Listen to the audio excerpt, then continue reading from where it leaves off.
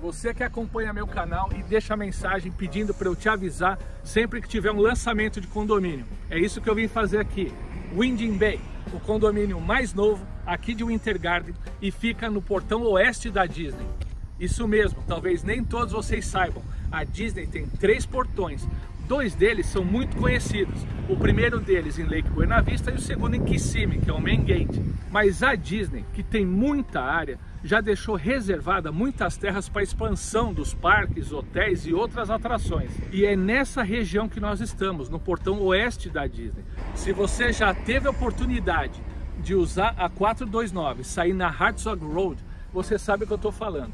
Já começaram a aparecer hotéis já estenderam a Western Way, que vai dar lá no Disney Springs, e agora muita coisa vai vir. Inclusive, o mercado espera que a Disney faça aqui um mini Disney Springs. Você imagina o que vai ser isso em termos de impacto econômico na região? Quem comprar uma casa agora certamente vai ter uma valorização enorme. Vamos então conhecer essa casa?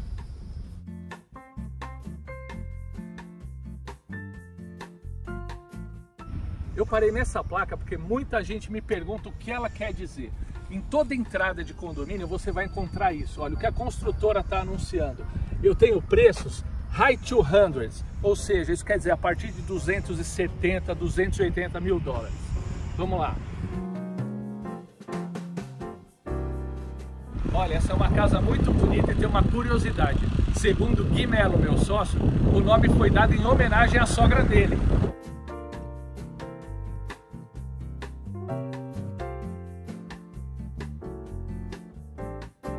Ô Mônica, não fica brava comigo. A piada é dele, viu? Tá lá no manual do gerente de banco.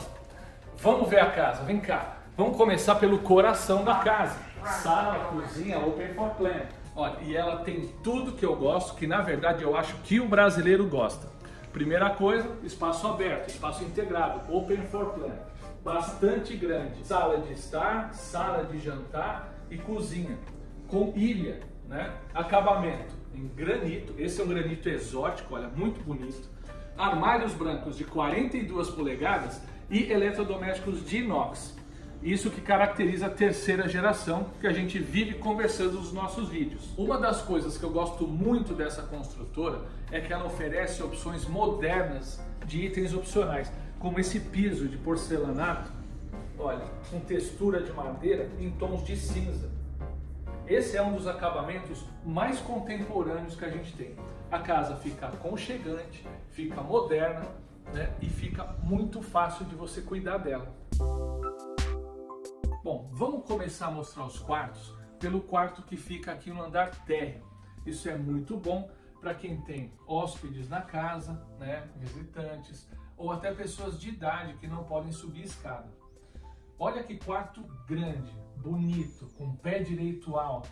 Né? Nós temos uma cama queen size, que é o nosso padrão de cama de casal no Brasil, dois criados mudos muito grandes e ainda assim, olha o espaço dessa casa, muito bom. Aqui fica o closet, ó. o closet. O brasileiro não está acostumado, mas todas as casas dos Estados Unidos, ou pelo menos aqui da Flórida, para um cômodo ser considerado um quarto, obrigatoriamente tem que ter um closet. Isso facilita muito a vida da gente porque evita gastar com armário planejado ou até com guarda-roupa. Esse é o banheiro que atende esse quarto do andar térreo e atende também a área social, a sala e a cozinha. Repara no acabamento, como é bom. Também tem piso de porcelanato retangular. Esse piso acompanha é, no box, porta-box de acrílico, né? muito parecido com o que a gente tem no Brasil. 23 degraus. O que eu mereço para subir e mostrar a parte de cima dessa casa? Certamente é o seu like. Deixa o like aí e vamos para cima.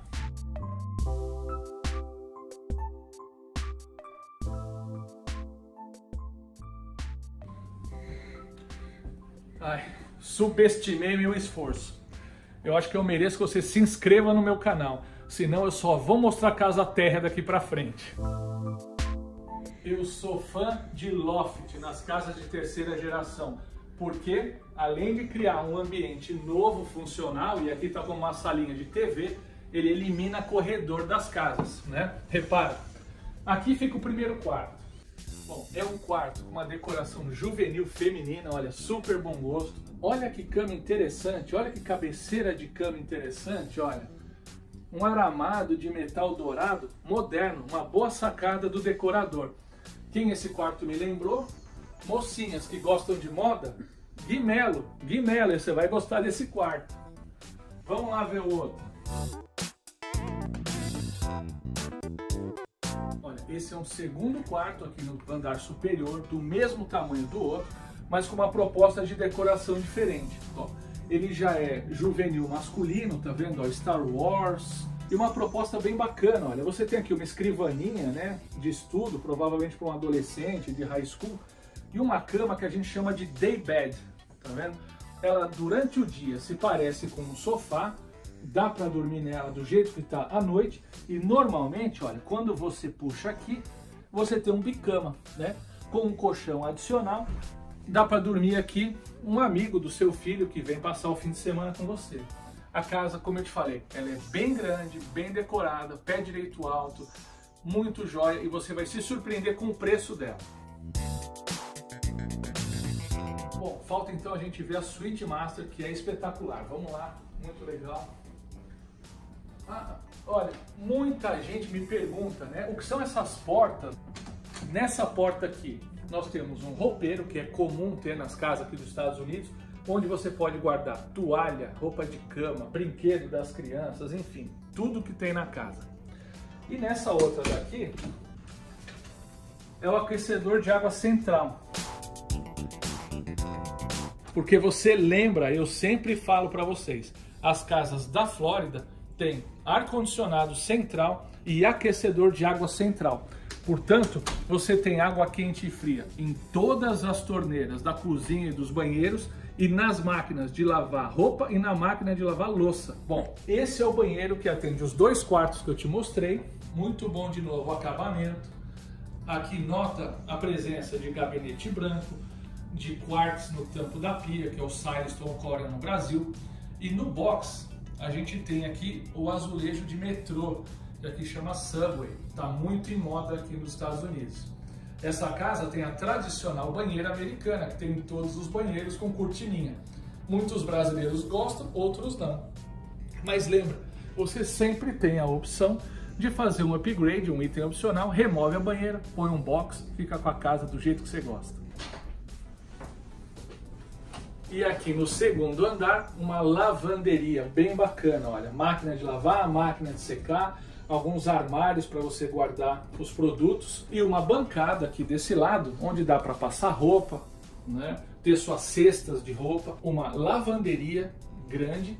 É bem difícil achar isso em townhouses e eu gostei muito dessa, dessa proposta. Olha, mais uma porta na casa e aqui fica o ar-condicionado central na verdade, a unidade interna do ar. Né? Ela que distribui o ar frio e o ar quente para todos os cômodos da casa. Aqui, por exemplo, está o termostato, tá vendo? É aqui que a gente controla a temperatura da casa, 74 graus Fahrenheit, porque aqui nos Estados Unidos a gente adota o sistema métrico britânico, né? 74 é aproximadamente 22, 23 graus Celsius no Brasil, que é uma temperatura confortável muito parecida, um pouquinho mais quente com o avião. Vem ver a Suite Master então, que é o último quarto da casa. Uau!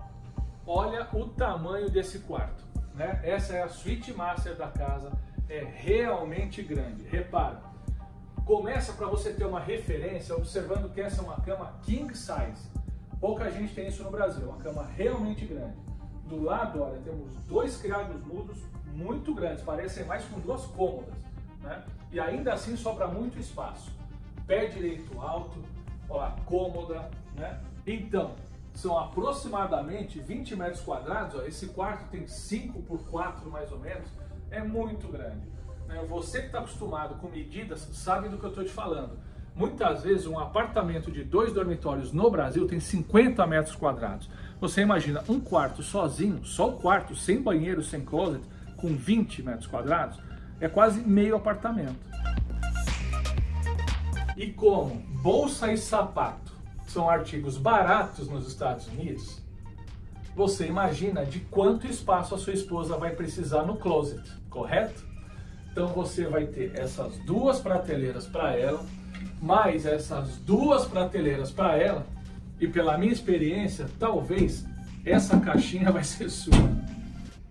Você reparou como esse quarto tá claro? Por conta do tamanho dessa janela. Olha, uma janela bem grande. Isso iluminou muito esse quarto, que já tem pé direito alto. Tá todo com cor clarinha, né? Tá off-white, tá branco. Adorei, adorei essa casa. E você, gostou? Deixa o seu comentário aqui. Bom, então falta eu te mostrar o banheiro da Master. Olha que é super legal. Você reconheceu porque o banheiro da Master tem cuba dupla, sempre. Quando a gente falar que é uma suíte Master, espere cuba dupla. Espelho grande, lustres. Olha que bacana essa solução. Porta box de vidro blindex, né? o azulejo acompanhando o piso. Muito bacana. E se você é novo aqui no meu canal, já deve ter visto eu falar ou assiste os outros vídeos onde eu conto um pouco disso. As casas americanas, elas já são entregues com todos os gabinetes, todos os metais, todos os lustres com lâmpadas, espelho, porta-box, todos os interruptores, enfim, você não gasta mais nada para terminar a casa. Você recebe a chave, entra na casa com um colchonete, uma caneca e está pronta para você começar a morar. E aí você me fala, Ricardo, eu gostei da townhouse, mas townhouse não tem quintal. Pois é, meu amigo, essa tem um quintalzinho super bacana, olha. Dá para você ter sua churrasqueira, dá para pôr uma piscininha aqui inflável para as crianças, ter um cachorrinho, né? É um espaço muito gostoso algumas townhouses de Orlando têm sim esse tipo de quintal. Na verdade, esse quintal está entre a casa e a garagem de dois carros. Começou a chover, vamos voltar para casa correndo. Bom, tome uma chuvinha agora. Está chegando o verão na Flórida e se você não sabe, é muito comum aqui no verão, depois das duas, três da tarde, cai essa chuvinha de verão, refresca e abre o tempo, fica super gostoso. Eu sei que você ficou no vídeo só para esperar eu te falar o preço dessa casa. Então vamos lá. Lembrando você, estamos em Winter Garden, escolas de qualidade, alto potencial de valorização, do lado do novo portão oeste da Disney. Nós temos casas aqui de 3 e 4 dormitórios. As casas de 3 dormitórios começam em 272 mil dólares. Essa de 4 dormitórios, 294 mil dólares. É um preço muito bom tanto para você que quer vir morar, quanto para você que quer investir em aluguel. E eu tenho uma surpresa para você. As primeiras unidades da construtora, ela tá dando geladeira, máquina de lavar e máquina de secar. Isso não é comum nas casas residenciais. Então corre, porque essa é uma das melhores oportunidades de Orlando. Os preços vão subir rápido por conta da expansão da Disney nessa região e os primeiros vão tirar vantagem disso. Você me conhece, Sou Ricardo Molina, sou broker da Talent e sua imobiliária na Flórida. E vem para Orlando, onde uma nova vida te espera. Até o próximo vídeo.